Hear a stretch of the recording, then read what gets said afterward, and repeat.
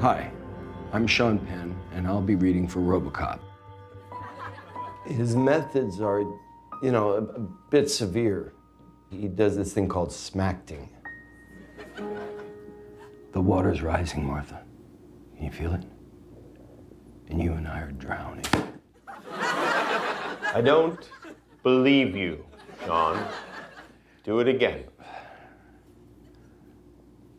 The water's rising, Martha.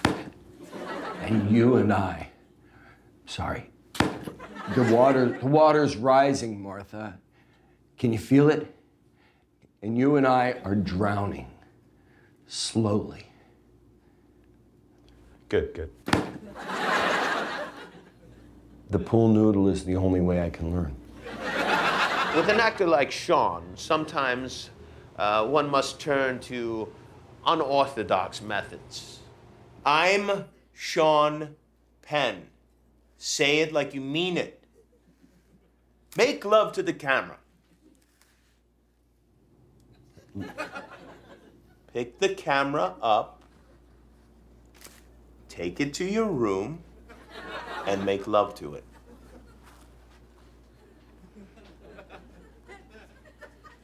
And don't come back until you're finished. Well, Jim's been my private coach for years now. He comes to my house even when I don't have a class scheduled. He showers here, he eats my food, sleeps on my couch. We're out of pita crackers. weeks. Uh, sorry, sorry. When I'm looking at actors, I ask them one question Have you studied under Kimmel? If the answer is yes, we can talk. If the answer is no, I tell Cuba Gooding Jr. to go himself. Acting requires movement. Movement requires expression. Expression requires presence. And those who master presence may embody any role from that of leading man to. Can I can I get up now? Did I tell you to act like a chair? Do chairs talk? Breathing.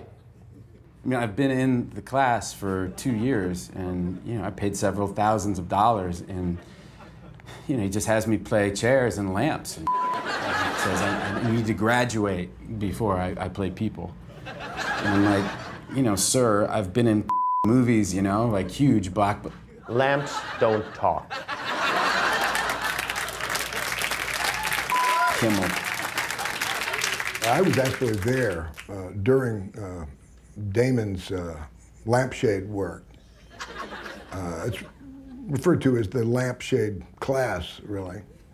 And there was Matt so beautifully still and uh, lamp-like, you know, so uh, realistic, really. I was never very good. I had problems, and I'm still, I'm still working on it. Uh, we've got a couple of classes. Um, what is it? Next Thursday. Uh, yeah. Got to work on it. Stand up and put your mouths on each other. Go ahead. No kissing, just mouth putting.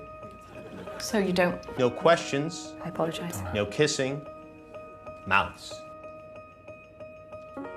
Now breathe your lines to one another. Don't speak, breathe. Are you breathing? Are you breathing? You're not breathing. You're not in love. We, we are. You we must are. be in love. We are in love. You're not in love. We are actually married. You're not married. You're not married. John? So we're not married. You know, when he's when he's right, he's right, and um, and sacrifice is is art.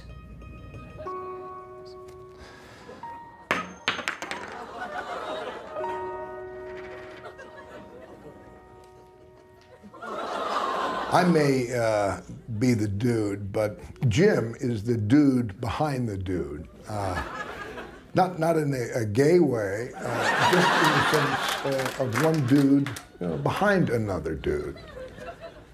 I mean, classes are expensive, But Jim is so generous. If you can't pay, he works with you. Well, he makes you work for him. I do his laundry. Uh, I buy his groceries. I walk his piglets. Don't know why he has so many. But one never judges the master. Jim convinced me to take the role in milk, even though I'm lactose intolerant and had to drink a gallon of milk a day.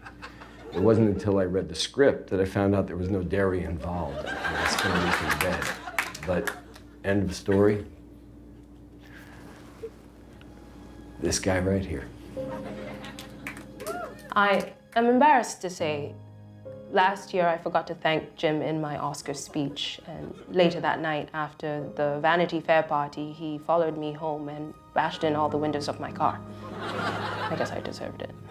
I believe that men were put upon this stage we audaciously call Earth to fill gaps between breaths with insolence, to enter, to exit, to speak our truth, to play our parts. The baby's role being to suckle its mother, the boy's role to run, to play. The lover is hot pipe pulsing, the warrior will battle do. This is what I believe. This is what I will leave behind. Hmm?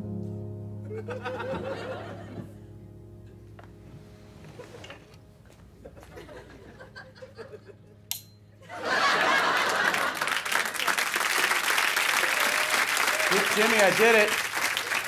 I did it, Jimmy. Jimmy? Jimmy, I want to play a person.